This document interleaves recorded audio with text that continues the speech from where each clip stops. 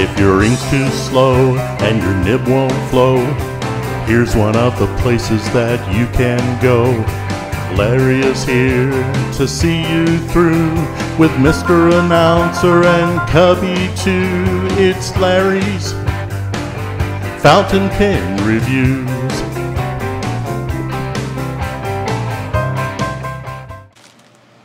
Hello folks, Larry here, and it's mail call day today, so let's open it up.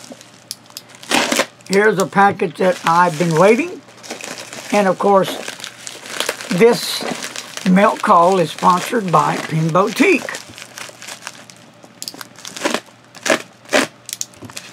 So I'm glad that Lena's able to help me. I have a chance to review pens that I wouldn't normally have a chance to. And then when I get done, like I've done other folks, I send the pin back.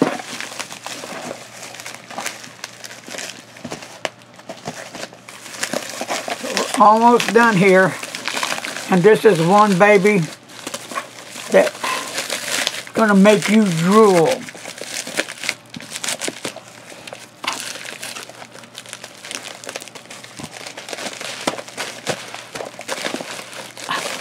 Ah, here we go.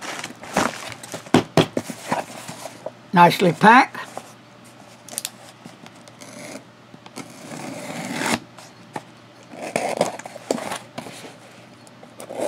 And then I will do a full review on this in a few days after I get acquainted with the pen as always. And here you get a Jolly Rancher. All right. And you get peanuts that I'll eat later. Okay. And here we go.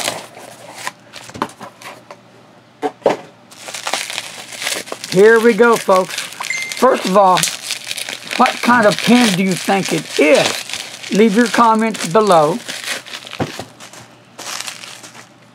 And it comes in a box like that.